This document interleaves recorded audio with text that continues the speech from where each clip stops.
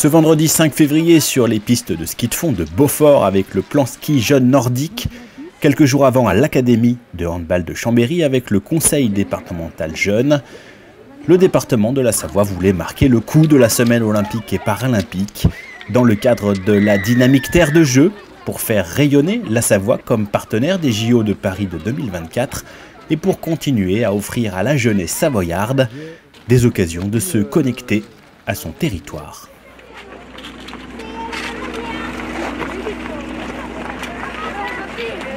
Bien. C'est mieux de faire l'école. Euh, c'est bien ce qu'ils font avec l'école. Surtout parce qu'on est avec nos amis, on est à l'extérieur et on n'est pas toujours enfermé dans la salle de classe. C'est une très belle initiative du, département que nous avons montée avec le comité d'organisation euh, et Tony Estanguet, euh, avec évidemment le comité de ski de Savoie qui est notre partenaire privilégié. la Savoie et même Savoie-Mont-Blanc, en élargissant, c'est une belle terre de jeu et donc nous sommes très contents de ce label. Cette séance de Beaufort était une occasion de dire que le plan ski jeune nordique mobilise plus que jamais dans cet hiver de Covid, avec 5300 jeunes de 44 collèges engagés, avec 12 stations nordiques partenaires, avec l'implication de nombreux acteurs de la montagne et le soutien de l'éducation nationale au travers de son programme Génération 2024.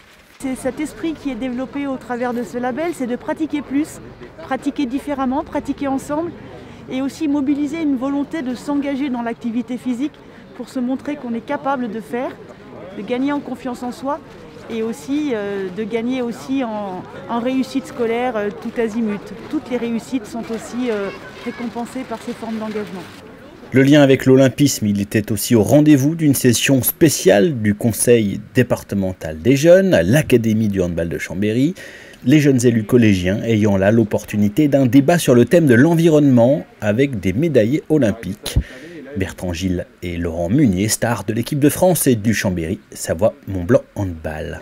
L'objectif du jour, c'est de faire en sorte que nos jeunes se retrouvent auprès d'adultes pour parler de la thématique qui les anime toute cette année, qui concerne le développement durable. Euh, bah, alors on a trois euh, thèmes. Donc il y en a un, c'est euh, la surconsommation, l'autre c'est les inégalités sociales et le troisième c'est sur bah, tout ce qui est le recyclage et tout ça.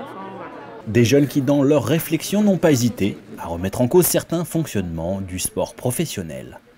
Moi qui ai eu la chance de participer à quatre Olympiades, eh ben, j'ai pas le souvenir que dans ces quatre Olympiades, il y a eu quelques gestes que ce soit, ne serait-ce que pour, j'allais dire, la, base, le tri. On triait pas.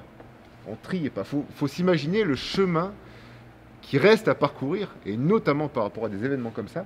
Mais ça veut dire que ça, c'est des préoccupations et je trouve ça génial que tout le monde s'en empare, mais qui sont extrêmement récentes. Bah, le géo, c'est une tradition très ancienne. Donc euh, je pense que voilà, faut pas arrêter le sport collectif. Malgré que c'est très polluant des fois. C'est toujours intéressant parce que euh, parce qu'ils nous permettent aussi de euh, de se rendre compte de la perception qu'ils ont du monde qu'on a fabriqué, qu'on a entretenu ou qu'on n'a pas su changer. et, c'est tout à fait légitime qu'ils nous en veuillent un peu. Les Jeux olympiques, ils devraient être plus axés sur la paix et euh, sur le développement durable. Les Jeux olympiques, ils rayonnent dans le monde. Et donc, euh, si on fait rayonner la paix et le développement durable, eh bien, euh, ces, ces, choses vont être expliquées dans le monde et réalisées. Assurément, la jeunesse savoyarde saura faire vivre l'esprit olympique dans nos savoirs.